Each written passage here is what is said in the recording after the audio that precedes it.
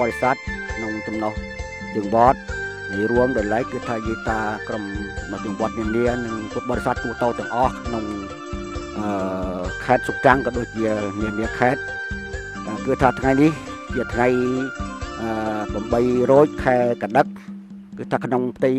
គណៈកម្មការវត្តព្រះអំពូបានរៀបចំប្រជុំដើម្បីរៀបចំគឺថាគិតគូរអំពីការដាក់នៅព្រះវិហារចាស់ចុះព្រោះព្រះវិហារនេះគឺថាបាន កសាងកាលពីឆ្នាំ1954លោកមកដល់ពេលនេះឃើញថារយៈកាលក៏យូរដំវែងហើយក៏ព្រះវិហារក៏ទ្រទ្រោមពិសេសទៀតដោយវត្តព្រះអំពូជាវត្តមួយមានទេរណែលប្រវត្តិសាស្ត្របដិវត្តគឺថាបានរដ្ឋទទួលស្គាល់ហើយក៏បានរដ្ឋនឹងជួយឧបត្ថម្ភដើម្បីកសាងព្រះវិហារថ្មីគឺថាចំនួនមួយកោតសម្រាប់គឺថាកសាងដូច្នេះឃើញថាក្នុងមួយកោតនេះគឺថានឹងកសាងគ្រាន់តែជាខឿនជា ចុះទេគឺថាចំណែក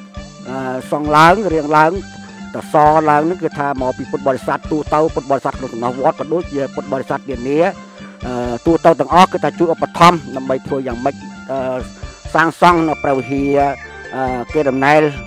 ស្នាប្រហោះរបស់បដិប្រគុណចូលមុំនេះឲ្យមានការគឺថាឡើងកើតឡើងវិញដើម្បីគឺថាតតាជំនាញចាស់កសាងគឺថាកសាងទៅតាមប្លង់ចាស់ទាំងអស់ នឹងដោយសារការដែលហាចង្អុលការអំពីរដ្ឋដែលគេទទួលស្គាល់ថាជាវត្តមួយ មានស្នាដៃក្នុងបរិវត្តហើយបានទទួលស្គាល់ជាវត្តមួយហៅថាកេតនៈផនគឺថាជាប្រវត្តិសាស្ត្ររបស់បរិវត្តហើយដូច្នេះថ្ងៃនេះគឺថាការរៀបចំប្រជុំក៏បានឯកភាពគ្នាទាំងផ្ទៃគណៈកម្មការនិងពុទ្ធបរិស័ទចំណុះជើងវត្តទាំងប្រសង់គឺថាស្រស់ស្រួលមួយប្រទេសគ្នានឹងដាក់ព្រះវិហារចុះគឺថាក្នុងដូចជាគ្រូ សូត្រលោកបាន មានធិរិកាមាញ់មិញគឺថាដាក់ប្រហែលជាក្នុងខែប្រគុណនឹងរៀបចំដាក់ព្រះវិហារចុះហើយនឹងកសាងព្រះវិហារថ្មីឡើងក៏ប៉ុន្តែក្នុងវត្តសពថ្ងៃនេះគឺថាខ្វះថាវិការសម្រាប់នឹងកសាងគឺថាបរតគេជួយបកោតទេគ្រាន់តែដាក់ធ្វើខឿន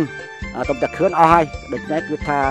ខាងកសាងគឺថាស្នើនឹងពុទ្ធបរិស័ទចំណុះជើងវត្តក៏ដូចជាពុទ្ធបរិស័ទទូទៅទាំងអស់ឧបត្ថម្ភរបស់ព្រះអំពូផងដែរគឺថាព្រោះថាវត្តនេះមាន ការកសាងតាំងប្រមាណតំណព្រះអង្គចោតិកាគឺថាមានរហូតដល់បច្ចុប្បន្នហ្នឹងមានតាមតំណប្រចោតិកាគឺថាគឺទៅកសាងចាប់តាំងពីឆ្នាំ1900 1664រហូ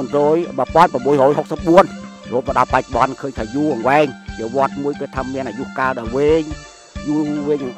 ជាងប្រមាណវត្តទាំងអស់ហើយនេះធ្វើយ៉ាងម៉េចដើម្បីក្រសាងព្រះវិហារថ្មីឡើងវិញ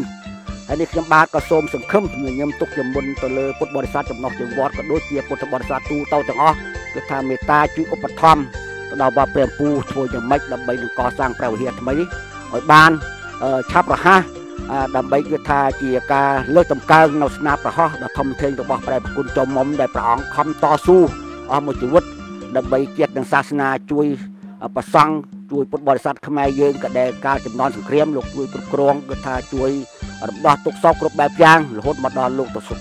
ទីនៃកធំទៅហើយនៅស្នាប្រហោះ ដែលរដ្ឋទទួលស្គាល់ថាជាវត្តមួយហៅថាគេដំណើរប្រវត្តិសាស្ត្របដិវត្តជាវត្តមួយដែលមានសគុណលើរដ្ឋលើបាក់ហេតុនេះគឺថាយើងជាពុទ្ធបរិស័ទតតែស្រុំជ្រែងស្រស់ស្រួលគ្នាមួយប្រទេសគ្នាដើម្បីធ្វើបីធ្វើយ៉ាងម៉េចគឺថាកសាងព្រះវិហារឲ្យបានសម្រេចទៅតាមគឺថាការស្រស់ដែលហៅថាតាដើម្បីលើកតម្កើងនៅវត្តអារាមរបស់យើងលើកតម្កើងស្នាប្រហោះរបស់ព្រះគុណដែលជាប្របីដាសង្ឃចមុំដែលព្រះអង្គខំតស៊ូ ដូច្នេះយើងឃើញថាខ្ញុំសង្ឃឹមទៅលើយេតាពុទ្ធបរិស័ទទាំងអស់ក៏ដូចជាសង្ឃឹមទៅលើយេតាដែលជាអ្នកសប្បុរសធម៌ទូទៅអ្នកមានចិត្តគឺថាដើម្បីកសាងនៅក្នុងពុទ្ធសាសនាជួយឧបត្ថម្ភដល់វត្តព្រះពូផងហើយក្នុងទីបញ្ចប់នេះគឺថាខ្ញុំក៏សូមអបអរសាទរទៅដល់យេតាពុទ្ធបរិស័ទចំណុះជើងវត្តដែលបានមកប្រជុំជួបជុំគ្នាថ្ងៃនេះឯកភាពដើម្បីរៀបចំកសាងព្រះវិហារថ្មីហើយនឹងសូមសង្ឃឹមញញឹម ទទួលនៅការឧបត្ថម្ភរបស់យេតាចំណុះជើងវត្តនានាក៏ដូចជាពុទ្ធបរិស័ទទូទៅទាំងអស់ដែលនៅទីណាក៏ដោយបានគឺថាដឹងដំណឹងអំពីការរៀបចំកសាងព្រះវិហារថ្មីរបស់ព្រះពូគឺថាជួយឧបត្ថម្ភជាខ្ញុំនឹងសង្ឃឹមខ្ញុំទុកជាមុនទទួលហើយនឹងសូមអរគុណទុកជាមុនខ្ញុំសង្ឃឹមថាលោកអ្នកគ្រប់បច្ចឋានមុខតែមានចិត្តគឺថាមេត្តាហើយជួយឧបត្ថម្ភដល់ព្រះពូមិនខានឡើយសូមអរគុណ